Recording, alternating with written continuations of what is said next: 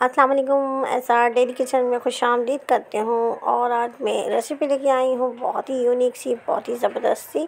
तो इस बार ये रेसिपी ट्राई करें, यकीन करें हाईवे की रेसिपी भी भूल जाएँगे। आप चलिए स्टार्ट करते हैं। बिस्मिल्लाहिर्रहमानिर्रहीम। सबसे पहले मैं आपको बता दूँगी डेढ़ किलो चिकन है। चिकन को मैंने धो के साफ़ करके रख लिया और रान में मैंने कट लगा लिए हैं और ये वन के जी के करीब टमाटर है। तो इसमें जो है ना, टमाटर का साइज़ थोड़ा बड़ा है तो मैंने एक के जी लिए हैं, वन के जी तो इस तरीके से मैंने इसको कट लगा लेने हैं, तमाम कट लगा के रख लेने उसके बाद इसमें एक कप के करीब तेल जाएगा। तेल थोड़ा सा ज़्यादा ही डलता है, क्योंकि इसमें फ्राई किया जाता है।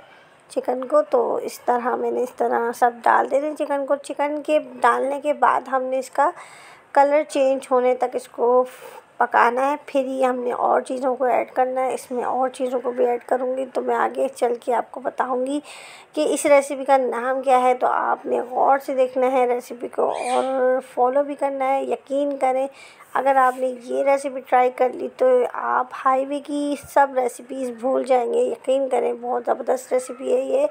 तो दो चम्मच लहसुन अदरक का पेस्ट डालूँगी। इसके अंदर लहसुन अदरक का पेस्ट इसमें पानी नहीं होना चाहिए, सिर्फ़ लहसुन अदरक ही होना चाहिए।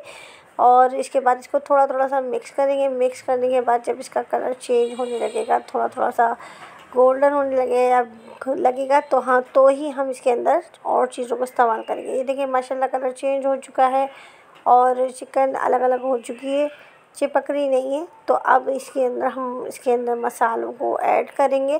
तो सबसे पहले तो मैं आपको बता दूँ कि पाँच से छः मोटी वाली मिर्ची जो होती है ना, वो कट करके हमने इसमें डाल देनी है। तो अगवानी कढ़ाई बना रही हूँ मैं आपको बता दूँ। तो इसके अंदर जो टमाटर हमने कट किए हुए थे, वो भी डाल देंगे। ये बिल्कुल रेस्टोरेंट स्टाइल है। बिल्कुल आपको वही रेसिपी शेयर कर रही हूँ। आपके साथ जो हम शाही शनवारी में जाके और हाईवे पे जाके खाते हैं, बहुत ही यूनिक सी रेसिपीज़ होती हैं। वो बहुत ही टेस्टी होती है। इतने इतने पैसे लगा के हम जाते हैं और उसके बाद हम ख़रीद के खाते हैं। तो ये देखें, इसके बाद मैंने इसको टमाटर डाल के नरम कर लिया है। टमाटर के इस तरीके से छिलके मैंने सब उतार देने हैं। उसके बाद हमने इसमें दो चम्मच के करीब नमक डालना है। नमक आपने इसमें थोड़ा कम ही डालना है अभी, क्योंकि ये डेढ़ किलो चिकन है तो मैंने इसमें दो चम्मच डाले हैं छोटे वाले और आधा चम्मच हल्दी। हल्दी डालने के बाद हम इसके अंदर डालेंगे हरी वाली मिर्ची, दो चम्मच पिसा हुआ धनिया और इसमें देखें, इसमें आठ से दस हरी मिर्चों को मैंने पीस लिया है। और एक बड़ा चम्मच मैंने इसमें काली वाली मिर्ची का इस्तेमाल किया है। आधा चम्मच चाट मसाले का इस्तेमाल करूँगी। और ये जो चीज़ें हैं ना, ये तो आपके घर में मौजूद ही होती है तो आप बिला वजह इतने पैसे लगा के जाते हैं और इतनी महँगी तरीन रेसिपीज़ को ख़रीद के खाते हैं तो नहीं जाया करें। घर में ही ट्राई कर लिया करें। ये देखिए, माशाल्लाह से आधा चम्मच इसमें ज़ीरा पाउडर डालूँगी। अब इसमें तीन बड़े चम्मच मैंने इसमें दही का इस्तेमाल किया है। दही आपका खट्टा होना चाहिए, बिल्कुल खट, दही अगर बिल्कुल मीठी होगी तो बिल्कुल भी अच्छी नहीं बनेगी। तो हमने इसके अंदर रेसिपी को बहुत टेस्टी बनाना है। तो थोड़ी सी दही को खट्टी ही लेना है। तो आपने इस तरह इस इस तरीके से इसको मिक्स कर लेना है। और साथ साथ चम्मच चलाते जाइएगा और चम्मच आपने ऐसे चलाना है कि चिकन ना टूटे। यही फ़नकारी होती है चिकन बनाने के लिए कि हम चिकन बनाएँ और चिकन टूटे भी ना। और इसके बाद हमने डाल देनी है इसमें दो बड़े चम्मच क्रीम के। तो क्रीम आपने वो वाली लेनी है जो नॉर्मल क्रीम होती है। हम घर में मौजूद क्रीम जो बनाते हैं, जैसे कि मलाई होती है, वो भी डाल सकते हैं। और जो नॉर्मल क्रीम होती है ना, वो हलीब की, मिल्क पैक की वो यूज़ कर सकते हैं आप। मैंने हलीब की ली है तो इस तरीके से मैंने इसके अंदर डाल दिया है। अब थोड़ा थोड़ा सा ब्राउन होने लगेंगे भूनने लगेंगे और उसके बाद मैं इसमें डालूँगी कसूरी मेथी के दो चम्मच और उसके बाद मैं इसको थोड़ा सा और चम्मच चलाऊँगी। जैसे ऑयल ऊपर आने लगेगा तो मैं आपको सीक्रेट बात बताऊँगी इसके अंदर कि जो शाही शनवारी और जो रेस्टोरेंट में जाके हम खाते हैं उसका टेस्ट बहुत ज़बरदस्त इसलिए होता है।